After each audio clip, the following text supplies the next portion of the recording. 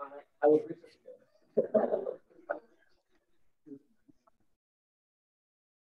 All right. Can everybody see my screen up there? It's casting, so I'm assuming you can. So today we're just gonna go over stats, guys, and I'm not really gonna dive too deep into it. I really wanna just show you guys how I implement this into the buyer's console, um, especially for all the newer guys, how I organize my tabs when going into a buyer's console, right? So uh, just getting right into it.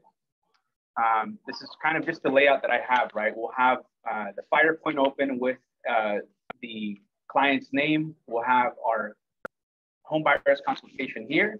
We'll have our team reviews and so on and so forth, right?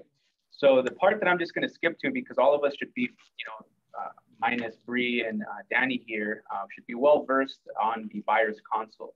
The part that we like to touch on or that I like to touch on is the market review, right? Just going into the stats on this piece. Um, and typically the way that I run this, going into it, say, hey guys, uh, one of the main things that we want to run into is just uh, looking at what the market's doing now, going over the stats to decide more or less what price we're going to be offering on this home and give you guys an educated decision based off of what the market's doing, right? And what I'll do at this point is I'll go ahead and open up, if in this example, I'm filtering it to free uh, Danville. Uh, this client is looking in Danville. His budget is at 1.3 million. So I'll, I'll immediately go into um, the criteria and just filter it. Uh, whatever's active, single family, in whatever city they're looking for, up to 1.3. I'll pull up the results. And this is the first thing that I like to look at. How many homes are available in the area that you guys are looking for? In this case, Mr. Client, uh, it looks like there's one active single family home. These other ones that are marked with the M are actually off market homes, right? Which aren't available to the public eye. But because you're working with me as a professional, we're actually going to be able to show you and get access to these off market homes, giving you an advantage. But I just want to put it to perspective. The city of Danville has about 100,000 residents, and we have one active home, right? I just wanted to throw that out there. So in case we don't find you a home right away, um, it's not us. It's literally what the market's doing right now. We're at a shortage of inventory, right? Uh, and given the fact that this is the only home, we should expect a good amount of, the only single family home under 1.3 million in Danville, we should expect a good amount of competition, right? And if we go a little bit deeper into this, Mr. Client, I always like to show everybody the stats, right? This is, these are the stats for uh, and I'll show you guys how to do it, right? Um, so maybe I should start there real quick. So to look up the stats, you just go, uh, I'll start it from the top here. You just go into your MLS, um, you pull up stats there, and then you can just filter it. I'll type in Danville since that's the example we're using today. Uh, we'll go residential, we'll go single family, and in this case, my client is looking for a, a minimum of three or more bedrooms. So we could even filter it, and you, could, you guys can apply any other filters you'd like, depending on your, uh, your client.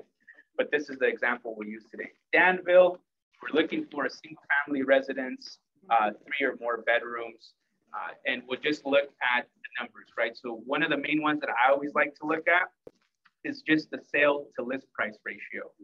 Yeah, you press generate, and the charts are kind of confusing. So I always just go to the data right? And it'll give you all of the, uh, the past four years, including this year. Obviously, you can filter it down just this year if you'd like, but these are the one, these are the main points that I like to touch on, right? As you can see here, Mr. Client, um, over the past three months, the market has been going up. It looks like in September, we were at 105% sale to uh, list ratio. In October, we went up 3%.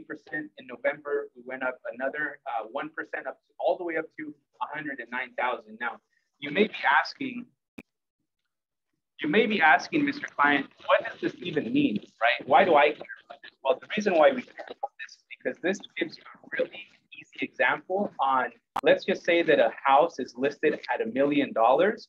This is showing us that it's the average in this area is selling for 90,000 over, right? 109% uh, sale to list price ratio. Uh, another cool stat that I like to show you is just the average days on market. And this will also include the sale to list price. But as you can see, um, this is updated up until uh, this past month. The average days on market for the city that you're trying to buy in, um, you know, anything up to three bedrooms, uh, single family residence is, is about nine days, right? So if we do end up finding something that you like, Mr. Customer, uh, we're gonna have to, for sure, have your pre-approval ready to go. And second of all, um, just have everything in line, right? We have to set aside time to, first of all, drive out there to view the home. Second of all, sit back, think about if this is what you like, if this is what you want to pursue. And then we'll jump right back into the stats to come up with a competitive price point um, to submit while still protecting your best interest, right? But we have nine days to do that. So, you have a question? Yeah.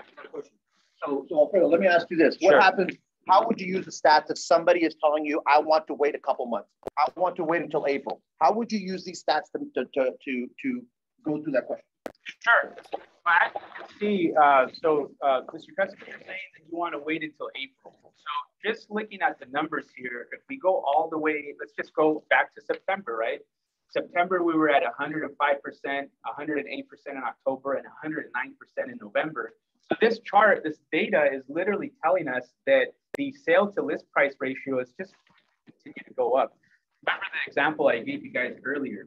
Back in September, if we're talking about a million dollar home, it's selling on average for $50,000 over, right? 5% over. Uh, fast forward to November, we're selling for $90,000 over. You're telling me that you want to wait another six months, just going based off of the numbers, it sounds like we're going to be paying at least, you know, maybe an extra 100,000 or more, right? Just going based off of what the data is showing us now. So uh, I'll ask you again: Is are you trying to pay? Are you trying to save as much money as possible on this, Mr. Client? Yes, yes, you know what, that makes sense. Okay. So wouldn't you agree that these numbers justify that we should start, you know, our home search sooner than later? It does, it does, Alfredo, but let me ask you this. You know what, I want some more time to save up for a bigger down payment. You want some more time to save up for a bigger down payment. Okay, that's great. And I mean, it sounds like you you already have a 1.3 million dollar pre-approval here. So what? Why is that? So guys, with, so, so common questions that we get for rebuttals are, I want to wait to get a bigger down payment. This, these stats show you a really, really good way of combating that, right? You're trying to save an extra 10,000, an extra 20,000, an extra 30,000 by showing them the data. By waiting an extra couple of months or a couple, uh, two months or three months or whatever the hell they want to wait, you're chasing the market at that point. So this is a very good opportunity for you to say, hey, listen, Mr. Customer, it's great that you're saving up more money, right? But the reality is that you're never going to end up catching up only if you're going to end up getting these bigger chunks of money, right? So, Mr. Customer, as a professional, it would make more sense to look at properties now as opposed to waiting for the, the market later, right? This is a good way of indication of showing these people physically to take you out as a salesperson, the scummy salesperson, right? Take us out of it, but now make us look like a professional when we're only showing data. It's not me telling you this. Now it's the market telling you this, right? Yeah, and it just helps justify the, you know, the price point, the price that we're going to be offering. So obviously, we all know that it just varies from home to home, neighborhood to neighborhood. Um, once we run the comps, this is just something else that we can include. Obviously, I, I included this from the get-go on our initial presentation for everybody that just joined. I normally talk about these stats right here in the market review, right? Go into the inventory conditions, show them what's available um, within the price point and within their criteria, and then get into just talking about, you know, what the market trend is, right? And literally the market trend is shown here in the stats, right? It tells us what's happening um, in specific with the sale to list price ratio. And you guys can um, filter this however you'd like, right? I'll go back to it um, for everybody that just joined again. You go into the matrix. It's like if you're going to show uh, a search for a property, go to your stats, um, and then it's as easy as just entering whatever city they're looking for. You can even go into zip codes. Yesterday, me and Mitch had a, a consult with a, uh pair of buyers that are currently renting, right? And I asked them, hey, would you guys consider just buying the current rental that you're in right now? Have you guys had the talk with, you know, your your landlord? Maybe he wants to sell. And they're like, wow, well, we would love to stay here. So now they're going to go ahead and speak with that landlord. And what I'm doing is all I'm doing is I'm taking the zip code that they're in right now, I'm filtering it to the amount of bedrooms that they have. Uh, and I'm and this allows me to come back at them with some data, right? Uh, obviously, I'm still going to be running the comps the way we normally do it within a quarter mile, up to 90 days. But this just is that extra uh, uh, that extra data to show them to justify the numbers that you're going to be coming at them with, right? We're not just pulling stuff out of thin air. So, uh, I mean, any questions? This is really just the piece that I wanted to touch on. Um, I think we can we can all agree that we can have a separate uh, uh, training later on for everybody on how to run the consult from beginning to end. You know what tabs you want to have open, ready to go um, while you're on that console, just to avoid going back and forth um, and just to look more professional. But does, does everybody understand? I mean, can I get a thumbs up? Can I get some feedback? Can I get some questions of what you guys think about this? Um, I think we could do a mock report, uh, like a, a workshop. Uh, mm -hmm. Oh, okay, like everybody. Okay, yeah. So sure. Sure. Yeah. So uh, Mauricio brought up a great point. Um, he mentioned that we should probably just have a workshop around this, right, where everybody is is in the same office, um, just to answer any questions up front. And obviously, we can all brainstorm around it. But um, I think that's that's a good good idea, right? I know right now some of us aren't all here. Um, but for everybody that's in the office right now, after this call, I'm going to dive a little bit deeper uh, into it with everybody and just make sure that everybody knows how to pull it up, right? Because that's probably the part that, that you guys are going to be uh, uh, wondering about, right? But again, it's super easy to do. So do you have something you wanted to add, Manny? Yeah, so I wanted to ask if you were able to like forward that information, like after you pull up all of the the data like, are you able to email that directly to your clients?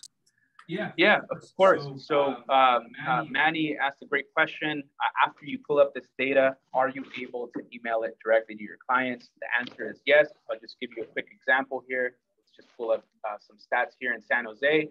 Residential, single family.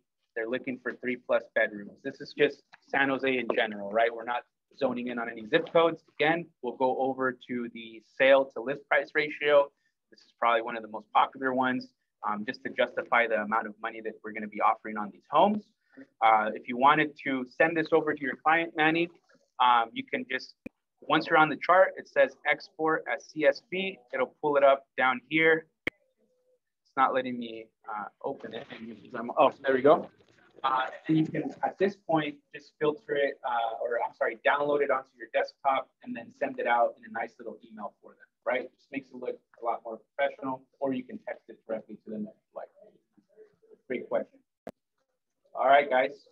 I know this was a quick one, um, and I, I, know a lot of you may have more questions in the future about it, but does anybody have any other questions um, before we just end it off? Uh, I guess um, what are the other um, pieces of data that you could that you could pull up? I know there was like list to sell ratio. Yeah. yeah. So what are the, the other, other ones? The, the, other pieces of data that you guys can pull up, um, it, you guys can actually customize it, right? It already has a list here, right? If you see, there's system presets. Um, average days on market, days to sell, listings by price range, months of inventory, number of homes for sale currently versus sold right? Um, and the list goes on and on. But if you guys want to customize it, you guys can also customize it here, right? Instead of looking at a chart for the past three years, we can just customize it year to date. So the chart will only show all of 2021.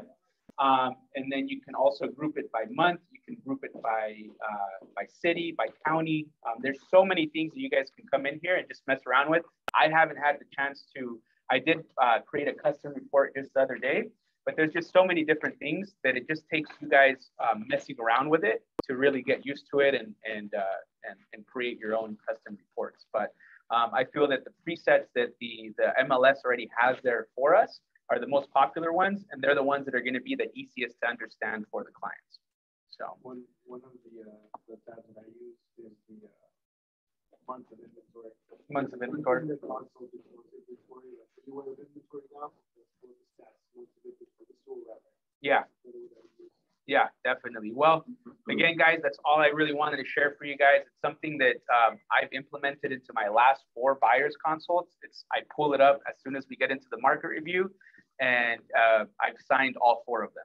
So four for four since I've been using this. Um, something that I would implement. I think in our next meeting, uh, we'll definitely talk about just the closing process. I've been working uh, uh a lot more recently with Mitch, and I've been implement, implementing my uh, market tactics. He's been going in on the close for the loyalty agreement, and again, we've had great success. So we'll we'll uh, spin around to another one of these uh, meetings when everybody is together to just go over what what we do. Okay. All right, guys. Thank you for joining us, and have a great day. Let's kill it. Thank you. Uh, thank you, Alfredo. Thank you, Alfredo. Thank you, Alfredo. Thank you, Alfredo. That was good, Alfredo. Thank you. I don't know why I can't hear them. It's crazy. Maybe because I'm sharing my screen.